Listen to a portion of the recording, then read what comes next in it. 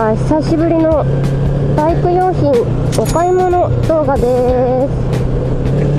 今日のお目当てはドライブレコーダーです。ドラレコの必要性っていうのはもう散々ニュースでも取り上げられてますがもう本当に理不尽な事件事故が多いですよね。話題になった煽り運転。突然駆け寄ってきてフロントガラス割られちゃうとかライダーが突然鉄パイプを持った2人組に襲われたっていう事件もありましたね。怖すぎない？私も昼夜問わず1人でいろんなとこ走ってるのでうん、やっぱり何かあった時のために自分の身を守るための安全防犯意識っていうのは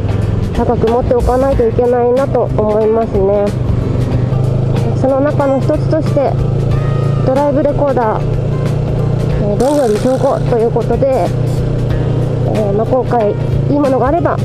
取り付けお願いしようかなと思ってます。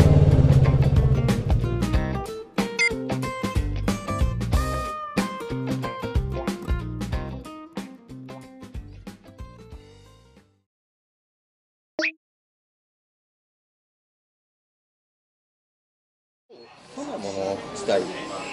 前に1個だけついてるとか前後ともついてるとかっていうのがいろいろあるんですけれど。そうですね、まあ、せっかくなら前後両方つけたいかなと思うんですけど。そうですね。あの ETC を作ってる製造メーカーの千葉さん工和から出たドライブレコーダーなんですけれども、はい、こちらの方ですね。こちらの方は1カメラ式前だけなんですけどもこちらの2つは前後ともカメラを搭載したモデルになりますので正直この辺りがおすすめになりますね。こちらの方はですねあの常に GPS で受信してくれてるので、どこを走ってきたかとかっていう軌跡をたどることもできたりっていうのでいろいろパソコンが得意で編集したりっていうので、そういうのも楽しまれる方にはおすすめです。ですね、カメラ自体もだいぶ小さいのであのオートバイのスタイルも大きく崩さずに取り付けることができますね録画は結構長時間いけるもんなんですか？一番長いとやっぱり88時間とか撮れるんですけどもある程度高画質とかにしたりあとはその画像の精度ですね、256ギガなのか16ギガなのかっていうところを変えることによって時間が変わってくるっていう感じにはなります。の動画って言っても、あの結局はすごいカメラの連写なんですよね。時々他のドライブレコーダーだと信号機の周波数に合っちゃってずっと真っ暗な信号機を映し続けちゃう。なので事故起きた時に、あの赤なのか青なのかわからないっていうのを周波数をずらしてくれることによって信号機の色を取りこぼすことがないっていうところは秀でてるところになるかと思いますね。それ結構大事なところですよね、ね。証拠として。そうですね、うん、事故が起きた時に一番活躍してもらいたいためにつけてるものなので、そういったところはちゃんと工夫されてるっていうところが。じゃあ店員さんおすすめのこちらで。はいはい、ありがとうございます。じゃあ取り付けの予定とかを決めたいと思いますのでこちらの方よろしくお願いします、はい、お願いしま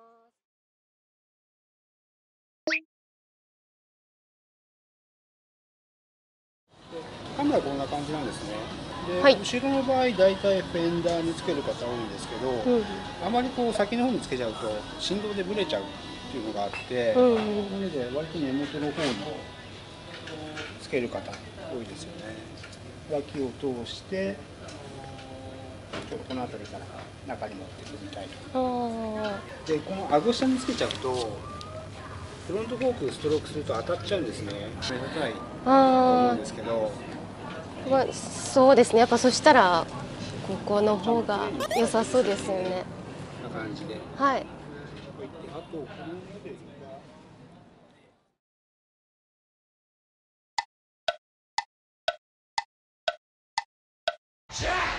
この辺にみんな収めてるんですよね。ということでこんな感じになりました。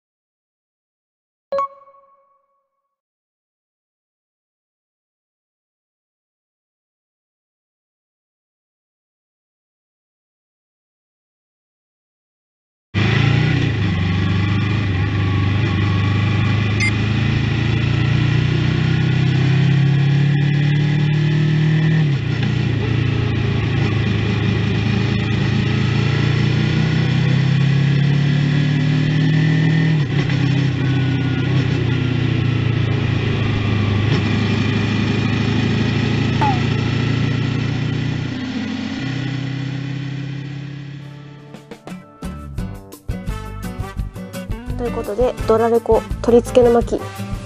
かがだったでしょうか？バイク専用だけあってブレもほとんどないし夜間の映像なんかもあの思ってたより全然綺麗に撮れてたのですごくびっくりしました。あとやっぱりこうスマホとね接続してもうすぐに手元で気になった動画をチェック保存できるっていうところはすごくあの気に入りましたね。便利だと思います。それで自分でね映像をチェックしてて思ったのが信号待ちで結構後ろに迫るじゃないですか。リアカメラにあの後ろの運転手さんが大あくびしてる姿とかも映っちゃってるんですよ。であこういう瞬間も全部撮られちゃってるんだなーって思ったらもう信号待ちで変な顔できないですよね。いつ何が起こるかわからないですから。明日は我が身ということで、まあ、ドラレコをつけておくに越したことはないと思います。論より証拠。論より証拠。まあこの動画が、えー、ドラレコ取り付けを考えている方の参考になればいいなと思います。それじゃあまたね。バイバーイ。